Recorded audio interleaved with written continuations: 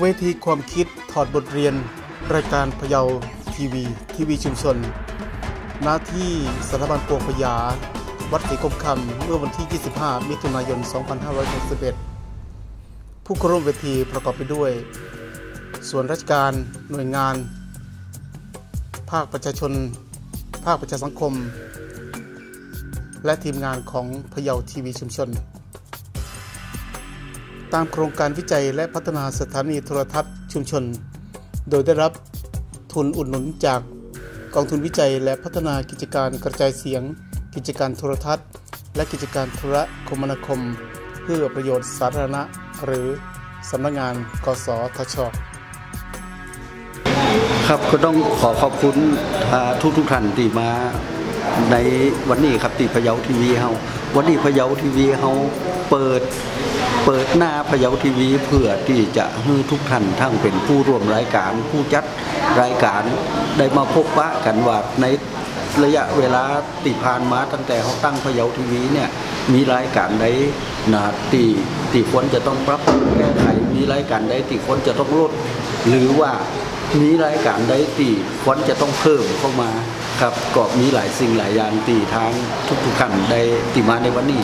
ได้ได้มาเสนอแนะได้มาให้คำแนะนำอย่างต่างๆ ซึ่งผมก็คิดว่าเป็นสิ่งที่ดีครับพะเยาทีวีเป็นของคนพะเยาและก็หมู่ผมทั้งหมดที่มากันวันนี้เขาก็ตั้งความหวังไว้ว่าพะเยาทีวีน่าจะ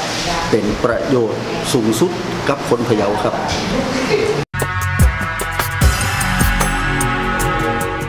เป็นวิธีการแลกเปลี่ยนเรียนรู้ และระดมสมอง และทบทวนเกี่ยวกับรายการของพะเยาทีวี ซึ่งเป็นรายการปกติ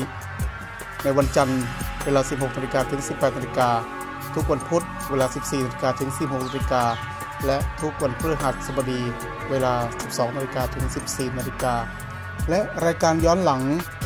ทุกวันอังคารวันพฤหัสบดีและวันเสาร์ช่วงเวลา 20นาฬิกาถึง 22นาฬิกา รวมทั้งรายการพิเศษ การถ่ายทอดสด ประเพณีวัฒนธรรม กิจกรรมท้องถิ่น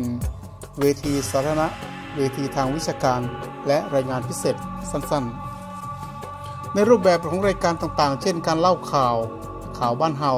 วิเคราะห์ข่าว ลาบข่าว พูดคุยสนทนาข่วงบ้านลานเมือง รายงาน รีวิวสินค้า และการท่องเที่ยว สาระความรู้ อาชีพ และการเกษตร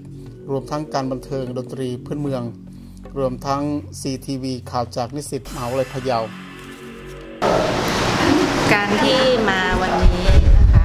เป็นการที่รายงานเหมือนกับทางพะเยาทีวีชุมชนเองในกลุ่มที่มารายงาน ก็จะมารายงานผลให้กับเครือข่ายที่ร่วมผลิต ซึ่งเราก็เห็นว่านี่คือเป็นกระบวนการที่ดีที่ทำให้เขาได้สะท้อนผลงานหรือการทำงาน แล้วก็ สะท้อนว่าชุมชนเป็นที่ต้องการของชุมชนหรือหรือไม่อย่างไร แล้วก็ที่สำคัญก็คือว่าเราจะมีการพัฒนาไปสู่จุดไหนอีก ซึ่งวันนี้เราก็เห็นว่ามีการตื่นตัวมีการที่เข้าใจในพื้นฐานของว่าพยาทีวีชุมชนคืออะไร ซึ่งจะแตกต่างจากการที่เราทำงานกันมาตลอดนะคะในในสองสามปีก่อนเนี่ยยังมาตั้งคำถามกันว่าพยาทีวีคืออะไรและทำอะไรแต่วันนี้ ความคิดความเข้าใจที่มีต่อพยาวทีวีซึ่งเราก็สามารถที่จะคุยกันต่อไปเลยว่าเราจะมีเนื้อหาอย่างไร และเราจะทำให้เข้าถึงคนในพื้นที่ให้ครบถ้วนในเก้าอำเภอได้อย่างไร ซึ่งทุกอย่างล้วนแต่มาจากคนในพื้นที่ซึ่งเป็นเจ้าของวัฒนธรรมที่มันช่วยกันคิดกันทำซึ่งเราเห็นว่าถ้าเกิดว่าเราสามารถที่จะจะให้คนในชุมชนได้ดูแลทีวีชุมชนแบบนี้ การดำ อยู่ของทีวีชุมชนก็จะง่ายขึ้น แต่ก็ไม่ได้หมายความว่าจะไม่มีอุปสรรคเลย เพราะว่าการทำงานทีวีชุมชนในลักษณะที่มันเป็นองค์กรนะคะมันมันจำเป็นจะต้องมีวิธีการบริหารจัดการ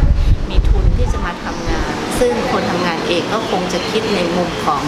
แค่มีรายการอย่างเดียวไม่ได้ จะต้องคิดในมุมของการบริหารจัดการการระดมทุนอะไรมาด้วย ซึ่งก็ถือว่าเป็นการที่จะทำให้ชุมชนได้เรียนรู้ซึ่ง รู้มากขึ้น แล้วประเด็นเหล่านี้ก็จะนำเข้ามาสู่เวทีในการที่จะพูดคุย และสุดท้ายก็จะไปสู่เรื่องของการที่ชุมชนจะมีองค์กรสื่อที่ทำเพื่อชุมชนและเป็นของเขาจริง ๆ ได้ค่ะเนื้อหารายการประกอบไปด้วยเป็นข้อมูลความรู้หรือข่าวสารที่เกี่ยวข้องกับประชาชนในพื้นที่จังหวัดพะเยาและจังหวัดเชียงราย การส่งเสริมอาชีพ การพัฒนารายได้ และคุณภาพชีวิตของเกษตรกรผู้มีรายได้น้อย สนับสนุนการสร้างการมีส่วนร่วมแก่ภาคส่วนต่างๆ ทั้งชุมชนท้องถิ่นภาคเอกชน และภาคราชการ เผยแพร่อัตลักษณ์และวิถีชุมชน เพื่อให้เกิดความภาคภูมิใจในท้องถิ่น และนำไปสร้างมูลค่าเพิ่มทางเศรษฐกิจ เช่น การท่องเที่ยว การพัฒนาผลิตภัณฑ์ในชุมชน การสร้างความรู้เท่าทันสื่อ การบริโภคข่าวสาร สินค้าบริการและการปกป้องผลประโยชน์ของชุมชน ให้พื้นที่ในความเห็นที่แตกต่างทางความคิดนำเสนอความคิดเห็นทุกฝ่ายอย่างรอบด้าน รวมทั้งแจ้งเตือนภัย ติดตามภัยพิบัติ เบาะแสอาชญากรรม และยาเสพติดอำนวยความสะดวกเปิดโอกาสให้ผู้พิการผู้ด้อยโอกาส ได้เข้ามาใช้ในพื้นที่เพื่อการรับและส่งข่าวสาร การสนับสนุนกิจกรรมของเยาวชนสตรีและผู้สูงอายุ รวมทั้งการเปิดพื้นที่ให้หน่วยงานทุกภาคส่วน เข้ามามีส่วนร่วมในการผลิตรายการ ด้านกฎหมาย ด้านการเกษตร ด้านสุขภาพ ด้านแรงงาน ด้านการกีฬา